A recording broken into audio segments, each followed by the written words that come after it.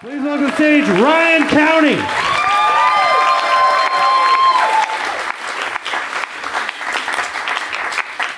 Oh, yeah, Cap City Comedy Club, Austin, Texas.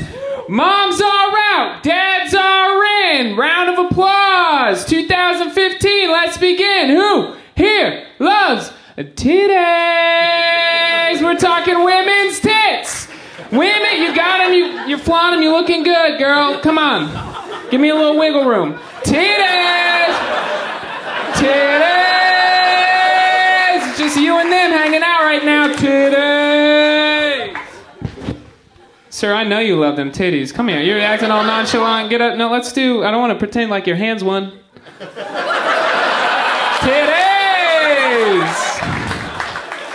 Okay, well, guess what? Women are human beings, you sick pig. Capiche? You gotta treat them with uh, respect, passion. Okay, you gotta give this broad compliments. Buy a trick of jewel.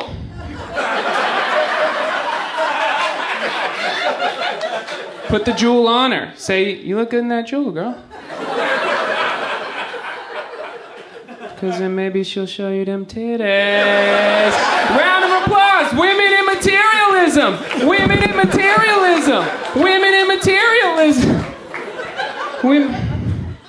Uh, I have been single most of my life. And it's not like, uh, it's not because lack of like trying or uh, I just broke.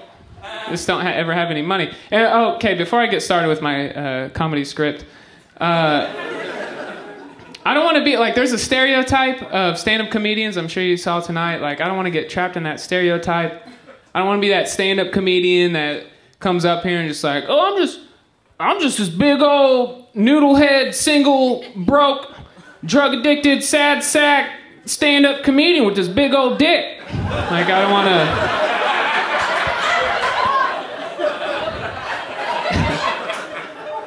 Get trapped in that stereotype, but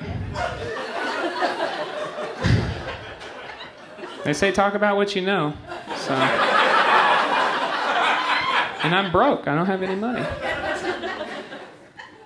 And it's not. I'm.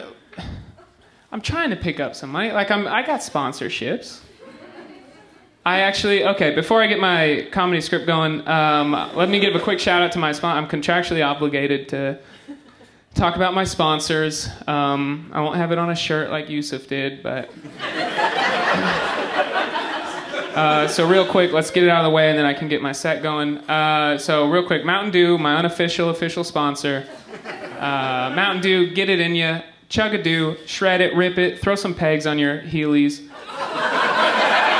hit it, hit a rail on the way to work.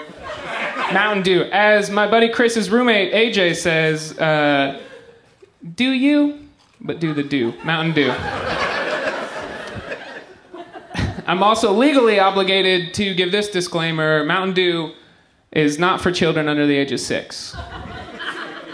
Okay? I had a niece last Thanksgiving who cracked into my 12 pack of Code Red, CR, MTND CR, is what it's known on the streets.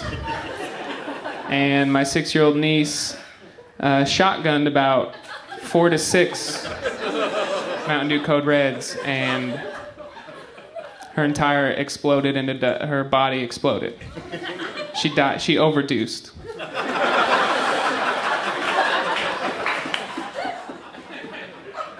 And I'm glad you guys can laugh and clap about it. A six year old made up niece died last Thanksgiving. I don't buy it's a bit. I don't buy a code red. I'm an OG guy, original green. Uh, I don't know. So I mean, that sponsorship pays absolutely nothing. I'm s- still broke, and it's crazy. Like being broke at. So I never thought at the age of 48 I'd be this broke. First of all, I thought you just get money when you get older. But that's what five kids and two divorces will do. And like I don't I don't even do any drugs. Like I, I'm just financially stupid. Like I don't even and I know you're looking at me and you're probably like, "Oh, this guy? Yeah, this looks like a guy that maybe buys and or sells large quantities of illegal marijuana weed." Not the case.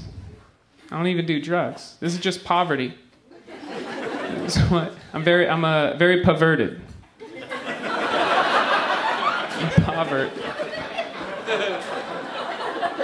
I spend my money stupidly. I spend my money. Uh, I'd say 50% of my profits uh, and my income go towards uh, swords and sword accessories.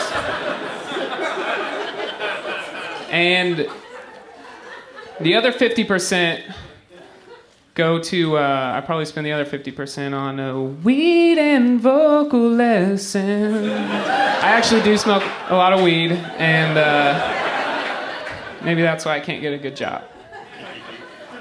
I don't even pay for vocal lessons, that's all natural. Actually, I did have a job. Um, okay, let me tell you about this job I had, this job story, and then I'll get my set started. I, uh, I used to be a nanny for these millionaire kids, like a uh, professional nanny for these millionaire kids, uh, which was easily the greatest job that I ever had. Like, I basically did everything I was going to be doing anyways. Like, me and the kids watched the same cartoons. Uh, we built the same Legos. I just had to do it all not high and in a mansion. And if I can be honest with you, uh, children don't know what being high is. You can get high around kids. if you take anything away from the show tonight, uh, it's go go smoke dope around children. Not dope. Don't do heroin. They'll know. Smoke weed about around children. Don't. That's obviously a joke. Um, children are very, very sobering. It's a waste of weed. So, all right. Thank you, guys.